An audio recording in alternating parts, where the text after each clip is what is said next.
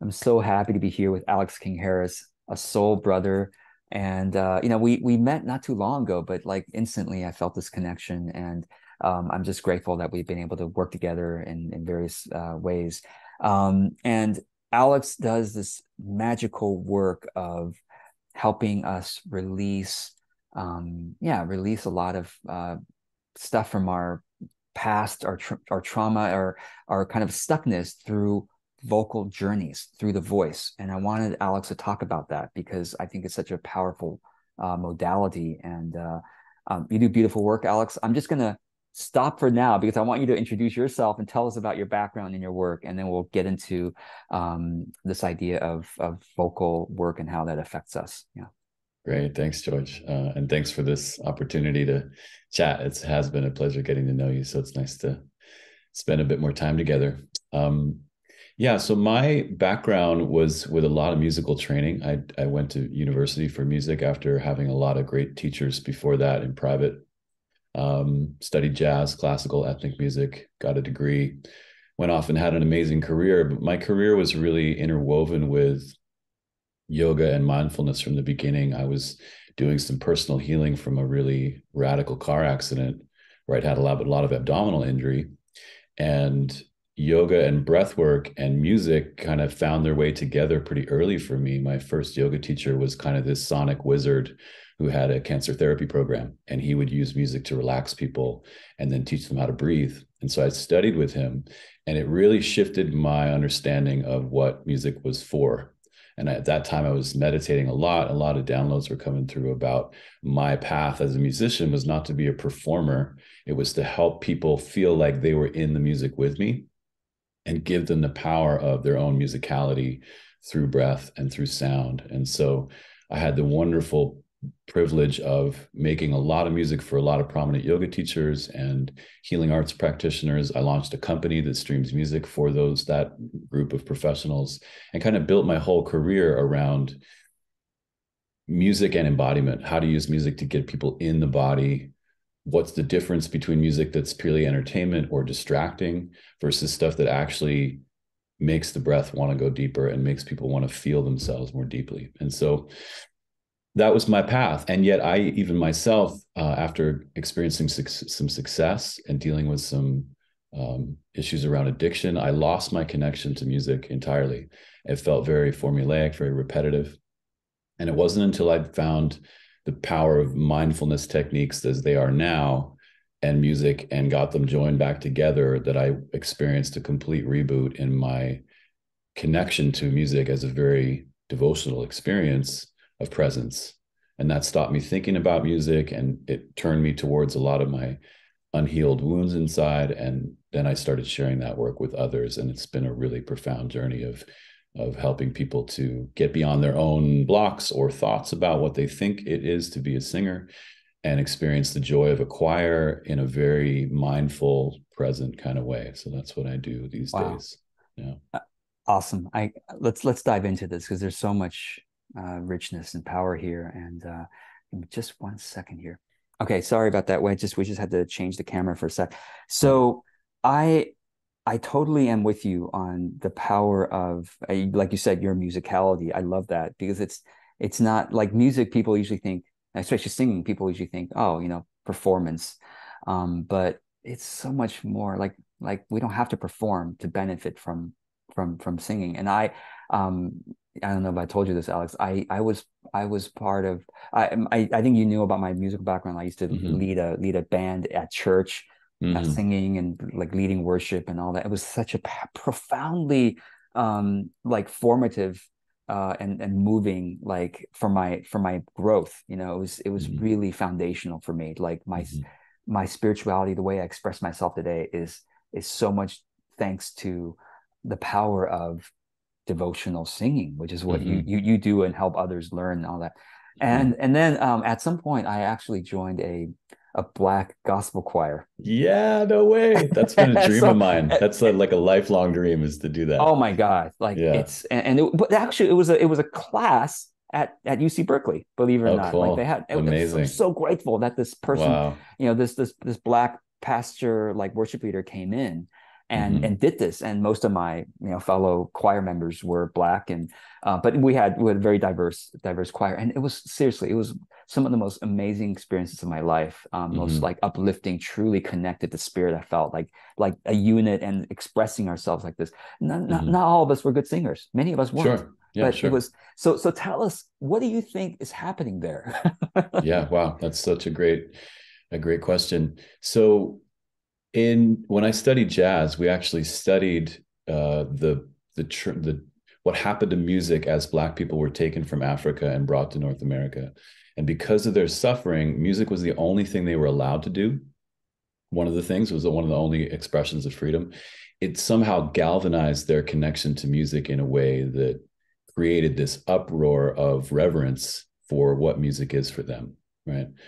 and that in a way is why the gospel movement is so powerful because you're jumping into the river of people who have really had everything taken from them and the only thing left was their connection to music and each other through song and dance and you know as western folk who haven't been through that recently our memory of when we used to sing and dance around the fire or in the village is quite long away but there's some part of us that wants to belong again in a sense of communal worship, reverence, devotion of what music does to us, which is it gives us a sense of belonging. It gives us a sense that we're okay just the way we are. It allows us to feel uh, and enjoy the beauty of life. It's very celebratory, right? It allows us to move emotions like grief and sadness and pain and stress into a place of praise. And that is something that we all crave, even if we've never had it before. Um, it's something that we all need you know and so i think what's happened with the commodification of music is this sort of separated people especially with the entertainer audience thing which is great. It's nice to go see a show. It separated people away in a similar way that that that religion has of like the people with the power are the ones on the stage and everybody else is powerless just kind of taking it in. You know again mad respect to great performers but i think it, at this day and age we all need to feel that power inside of ourselves and claim it and own it and uh, be in a group of people where no matter what you believe you can all do that together. And that's a really um, incredible experience as you as you as you found in that gospel choir. Totally. And you have led so many of these kinds of events over the years right? Mm-hmm. like like um yeah okay so and later i'm gonna i'm gonna ask you to maybe lead us in a little bit of musical uh musical experience as well. So yeah. that that'll come up later. But um t- talk, talk to us about so right now like in, in, our current culture a lot of people are waking up to this idea of um, trauma or uh, you might say stored like pain painful experiences stored in the body and mm-hmm. in the in the psyche mm-hmm. and like we're finding different ways of healing that mm-hmm. do you think what role do you think music and the way especially devotional singing and the, the, way you're you're doing it and you're teaching it guiding others on it what role do you think that has in terms of our our, our healing mm-hmm. we could mm-hmm. talk about trauma healing if we want but mm-hmm. but mm-hmm. particularly mm-hmm. the healing of um, all the pain that we we hold on to mm-hmm. you know? sure yeah that's great so what i've noticed from my own exploration is that we have this amazing survival system that takes over when our when our when we're overwhelmed and our brain has the capacity in a way to um, take us out of the pain through creating narratives around the pain that help us digest and understand what happened when we were overwhelmed.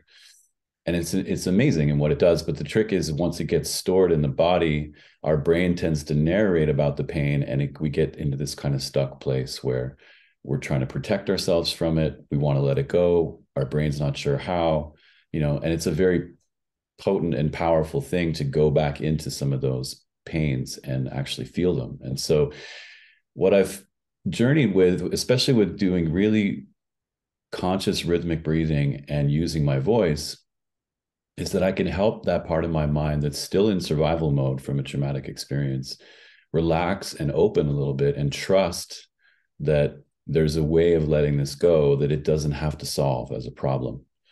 And so it's really just giving the body and the nervous system enough cues to relax and open. And i think the the other thing that comes from the devotional part of things is when you really feel yourself uh, held by life and you really commune with life and allow it allow yourself to trust in life again after something really really intense happened then this natural kind of unfolding of your instrument happens. And in that you get to just experience pain as sensation not the story that's attached to the trauma but just the physical sensation itself. And voice is a wonderful channel for getting it out. So you can use that sensation to shape the sound that you're uh, that you're producing. And as long as what i teach is to stay active in your listening so that your thoughts don't turn on and keep surrendering and softening the body, then inevitably this pain wants to release and come through. And then after that, we often have a you know a cathartic moment of healing, and we feel more whole. And then our voice often changes in its sound to reflect that more uh, attuned state with your instrument. Wow, beautiful! Wow, thank you for that. Um, mm-hmm. And I, it also makes me just think about that idea of how the universe is is is song, right? Like mm-hmm. universe, like mm-hmm. it's it's there's some there's a there's a like like you're talking about this in in in terms of the physicality or the physiology of it, but there's also the connection and you know depends on one's belief, but like there's a connection to the universal source, yeah, um, you know, frequency you might say, right? Uh, yeah. in, in doing all this. Um, well, and that just to yeah. complete that, that's a, that's perhaps a more fundamental level at which this magical way that music works is at work, where the pain and trauma that we experience in our lives is somehow, again, through personal experience, we're somehow predestined to go through a breaking of sorts and then learn how to come back into harmony and unity. And the universe, to me, has this this um, way of reminding us why we went through the experiences we did and bringing us back into wholeness when we tune into it. And music has a lovely metaphor for that of you're wanting to restore harmony and balance. And as you start to listen to the universe again and open up and work with that harmonizing effect something happens that kind of brings you back to your original state and you get to learn from all of the moments of pain and suffering so that you can be of service to others. And i think that's really a big part of our destiny as humans is to go through that. Wow. Yeah. Nice. I'm, I'm going to listen to this again because I think this, I think part of what you're saying, yes, but also just your what your way of presenting it is mm uh, is this healing. I like that. Great. Um, so I, I want to do a couple things. We the mm time is already coming to a close. It's it's very yeah. fast, but no I want to do a couple things. One is I want you to describe a little bit of what you do when you lead a vocal journey. Like what what should we expect? Mm-hmm. Um, what what should we understand? Mm-hmm. You know, like as right. we we come into and one of your vocal journeys. Okay, number yeah, one. Yeah. And then number two, maybe you could lead us a little bit mm-hmm. uh, in that experience, and then at the end we could talk about how people can actually, you know, sign up and experience uh, an hour long journey um, with you. So uh, go ahead and share. Great, excellent. Thanks, George. So the first invitation is just to come as you are. There's no need to prepare. You don't need any skill. You need don't need any training. And I like to create a container where everybody feels really safe, included, welcome, and that there's a, an awareness of the tendency to feel really vulnerable as we express our voice, to create a, a, a capacity to be kind to that part of ourselves and be very self-accepting for whatever comes out. Um, now, I do that through mindfulness techniques. And the first thing that I'll teach is how to relax and open your ears so that you're not um, straining or stressing the, in, the input of frequency that's going on around you. You're then learning to notice as your thoughts are active, to just simply practice listening to life as you notice that you're thinking. And that does a really beautiful thing, and then it makes you receptive to the music of the universe. Um, and then what I'll do is have you scan your body and start noticing where you're holding tension. Generally, as as people preparing to sing, we start to get nervous, and so we hold tension in the jaw, in the tongue, in the throat, behind the eyes, across the forehead, down the back of the neck. Depending on our emotional state, we might have you know tension in the heart, in the belly, in the hips, and so we kind of do like what I call an instrument scan, where we bring softness and space into the instrument and then we start breathing in a very connective and almost devotional way. And, and the breath becomes the central axis through which we access music. And anytime we're efforting and trying to be musical we come back to these awareness tools. Um, and essentially, there's the things that ground you back into the intelligence of music itself. Uh, the other thing that I'll have people do is something called a vocal sigh, which is really just like a nervous system let go, reset, get some freedom going on, stop trying to sing, just let it out, that kind of thing. And then we make some simple sounds together. And when we sing, it'll just be melodies with usually with no lyrics. And that again creates a very inclusive, reverent space where people don't have to learn anything about the lyrics themselves. And so that part of their active mind can take a back seat and relax more. And then we sing our way into stillness and meditate for a while and just go back and forth along that path. Oh, it's beautiful. And when you do this, first of all, I know you've done lots of these things in person, but mm-hmm. you've also done lots of these things virtually. Mm-hmm. Yeah. yeah. And right. And it's like, so, so are people, are people revealing their own voice, like in terms of the virtual? Like, are they, or they're they not, mute, right? They're not, they're muted. And, um, because I, I, was kind of nervous about that. yeah, yeah. What's well, what's really interesting is in that situation where you're in a regular kind of Zoom environment, you get this feeling of collectiveness, but you have a very personal relationship with your voice in that particular container. It's very different than doing it as a group where yeah, right where the resonance of all the other voices right. can help you open yes. and it can be a really interesting experience. Yeah. And then when you're private, you just have me in your headphones and right. you get to be completely free yeah and both have value i've found yeah. in doing doing both right. people often get way more playful sometimes they'll turn off their cameras and rock out and just yeah. like yeah. you know go for it right and that's a very different behavior than what they do if they were sitting in a group of people it's yeah. it's a different medicine so it's really good well uh, if you're willing uh, yeah. to give us, you know, a couple minutes of, of, of, just a little sample so we can have a sense of what this is kind of like. Let's do it. Okay, so it seems like you're sitting comfortably. So I'll just yeah. get you to close your eyes. And I'll, I'll mute my mic. Yeah, mute yourself. Okay. okay. Yeah. Yeah. Thanks. So just close your eyes and just turn your gaze inward. And notice how it feels in your body, this instrument, this beautiful gift from life. And as you're noticing you can just let your jaw begin to soften and let the muscles around your ears start to relax and open. Let your tongue soften.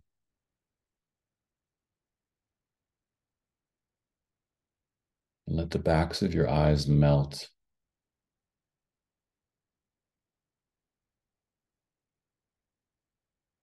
And as you become aware of your breath, just notice the sensation of breath moving in and out of the body, staying relaxed, inviting some space on the inhale. And on the exhale, just softening the body a little bit more.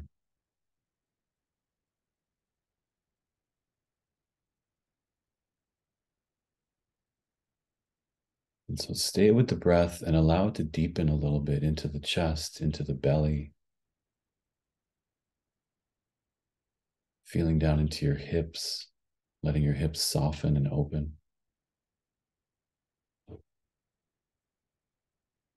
And just feeling again the exquisiteness of this instrument that you have. And noticing if there's anywhere inside that needs attunement, perhaps part of your body where you might not feel any sensation or it might be tight. And using your listening and your breath to allow for spaciousness to open up.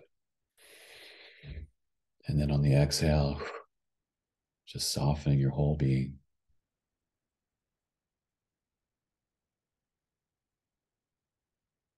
Letting whatever sounds are around you and inside you just be there.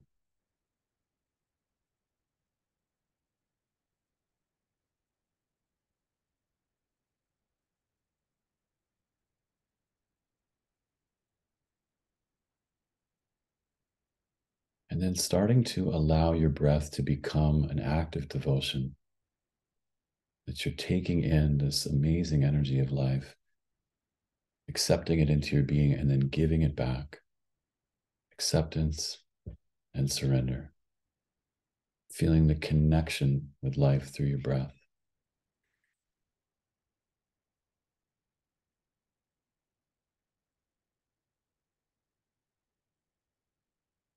Sipping on the breath like it's the nectar.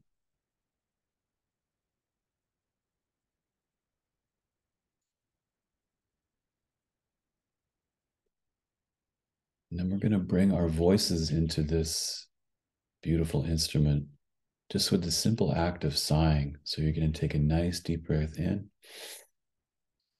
Ah, just sigh your voice out and feel the texture of your voice as it touches your heart.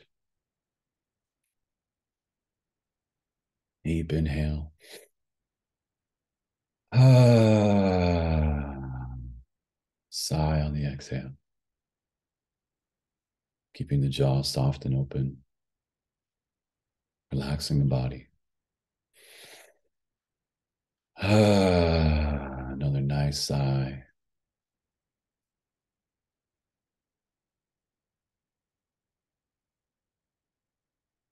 And then we're just going to make some really simple sounds together. You can just repeat after me. Yele. Yele.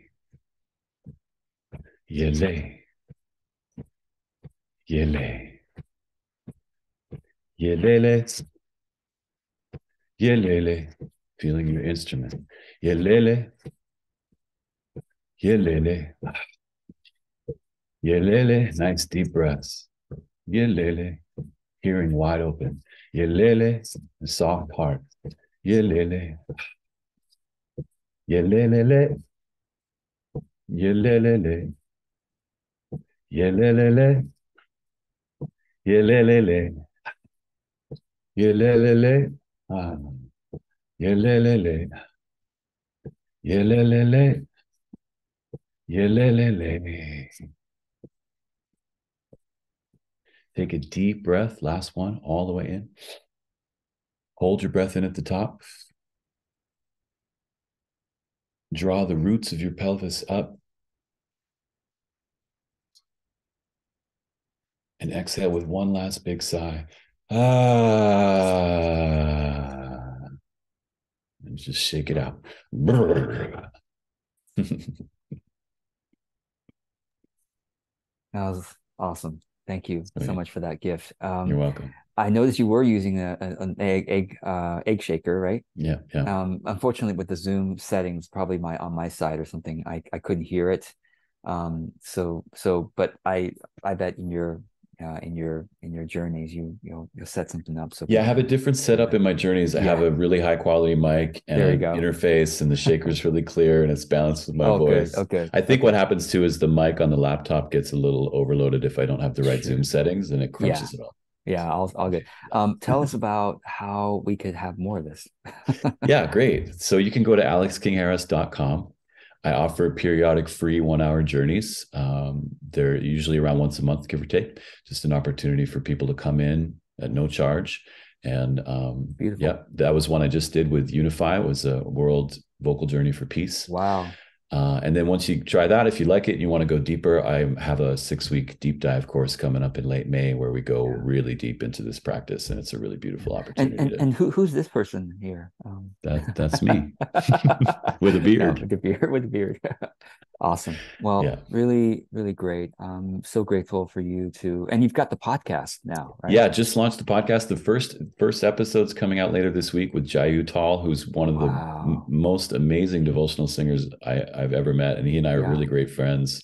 It was wow. an amazing interview to learn about his life story and um, how he got to where he got. It's a wonderful story to hear. So that'll be coming out later amazing. this week. Who, yeah. who, else? Who else are you going to have on the podcast? Uh, who uh, each other? Yeah, so we'll have Dave Stringer, who's a wonderful devotional artist. Deva Premal. Uh, I just interviewed this really great breathwork music producer named Toic. Mm. Um, we're gonna have DJ Taz Rashid coming up later in the summer. Mm. Hopefully, Snatam Kaur uh, later yeah. this summer as well. The cool thing about YogiTunes is I have this amazing network of. I mean, we literally have most of the greatest devotional music on the planet on that service, and it's all through personal relationships. So, mm. this podcast is going to reflect a lot of those friendships that I have. Yeah, thank you. So uh, those of you who are able to see the video on on screen, you'll see that this is uh, as of this moment. But I'm sure you have additional offerings coming up. The yeah, deep dive sessions are coming up. Um, totally. Two and a half hour voice and breath journeys, amazing. People go really deep in those, mm-hmm. and it's powerful. Awesome. Thank you so much for the work that you do. Alex. Yeah, you're welcome, George. Thanks yeah. for uh, shining your light in the world too. Really appreciate you. Please, folks, comment below if you like. Um, how was that experience for you?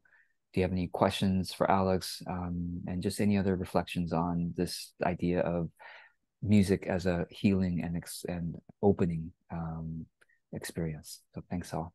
Thanks, Alex. Yeah, you bet, George.